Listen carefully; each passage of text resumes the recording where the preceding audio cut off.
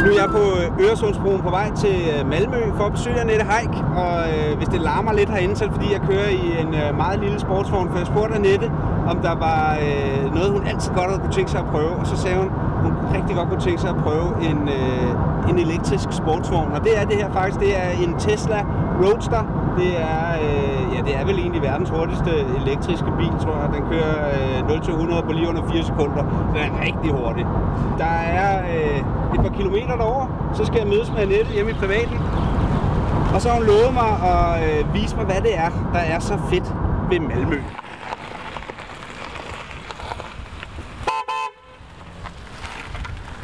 You rock! Hej Annette! Ja, det gider jeg godt.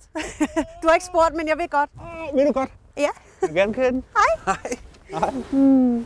Er du sindssyg? Ja, det er jo en lille rap rød øh, Tesla til dig. Jamen, det var dejligt. Den klæder mig, det kan jeg allerede mærke. Jamen, jeg synes, det er lige dig. Hvad hedder det? Hvad skal vi? Vi skal rundt og kigge lidt i Malmø. Jeg har bestilt, at der kommer lidt øh, blå himmel og solskin nu, fordi at, øh, at jeg bliver nødt til at prøve at vise det fra den pæne side. Jeg er meget spændt. Jeg er jo ikke så øh, Malmø-kendt, så jeg Det bliver tænker, nu, nu vil jeg bare have, have, have helt fri hjerne, og så må du vise mig, hvad der er så fantastisk ved det her. Ja. Ikke? Jo. Om ikke andet, så kan vi i hvert fald have det sjovt i den. Der er ikke meget plads.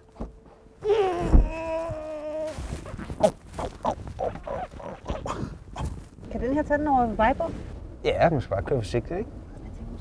Og så sætter du den i drive. Sgu den. Okay. Det er så D. okay. Det Tusind er tak. fremad.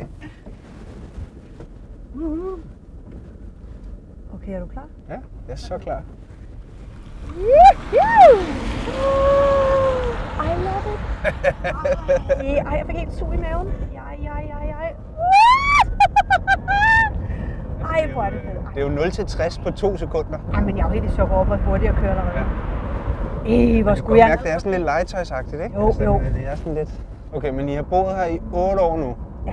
Så kan man også godt sige, hvad er det bedste ved at bo her? Og hvad er det værste? Det bedste er... Og kan du lugte havet? Er sådan... Nå, det er havet, jeg troede, det var dig, der Nej, nej, det er simpelthen tak. Du simpelthen ikke kunne, du kunne ikke styre din tarme, fordi den bare var så lækker, den her bil. Det bedste, det er naturen. Ja. Så er jeg først lige ned til den, til den lille, til vores badestrand her. Tænk, jeg var simpelthen i vandet og bade sidste weekend. Uh, uh. Det kan man jo også gøre over på, over på den anden side. Mm, nej. Fordi isen har det med simpelthen at drive den her vej. Det er ligesom solen, der kun Ja. skinner her også, og isen er også over. Hvad er det værste ved at bo i Sverige? Det værste er, at jeg, kan, jeg har stadig ikke fundet et sted, hvor jeg kan købe ordentlige kartofler og lurpak. Ah, hold op. Dut. Men du skal passe på det?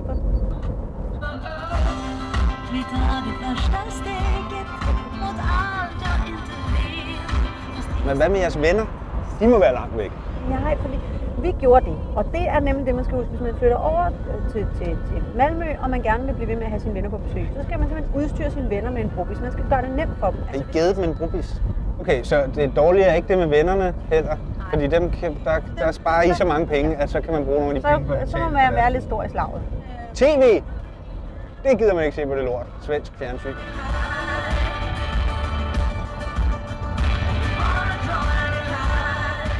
Her må man køre stærkt. Der må man godt køre stærkt. Og så kører man 100. Åh, 120. Åh, hvor er det sindssygt. Åh, 150 allerede. Oh my god, jeg skal op 180 meget hurtigt. Ej, det var lækkert. Ej, jeg kan godt lide Malmø. Det er meget hyggeligt. Det er meget hyggeligt. Det er, men det er jo, det er jo en provinsby. Altså, det er jo sådan, Malmø er jo Sveriges Odense. Ja. drömmar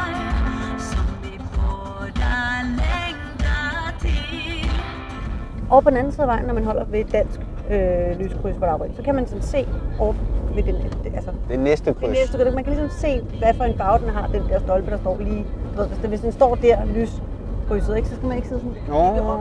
så kan man se det over på den anden side af vejen. Står du, hvad jeg mener? Ja, det kan man ikke i Sverige. Okay, det tog dig en time at komme frem til det, en dårlig ting i Sverige, er, det er, at man skal læne sig lidt frem for at se, om det er grønt eller rødt.